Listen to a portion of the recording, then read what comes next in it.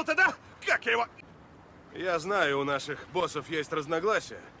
Но пусть они занимаются своими делами, а мы будем заниматься своими. Давай хотя бы попробуем поладить. Я понимаю, о чем ты. Но легче сказать, чем сделать. Это ценное замечание. Я знаю, будет нелегко, но попытаться стоит.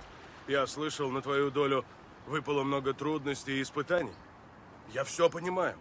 Но не будем усложнять. Говоришь, ты понимаешь, через что я прошел? А что? В юности я работал чернорабочим. Вот видишь, я был прав. Я вкалывал целый месяц и получал гроши. Оказалось, что зарабатывать деньги очень тяжело. И не говори, очень тяжело, да.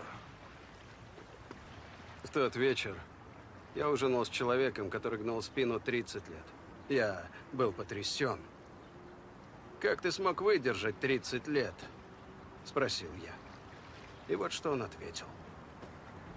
«Ты ничего не знаешь».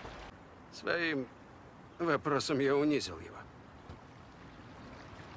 Я никогда не терял товарища из-за несчастного случая. Не сталкивался с пренебрежением со стороны младших. Я был ребенком, и все же посмел утверждать, что понимаю его.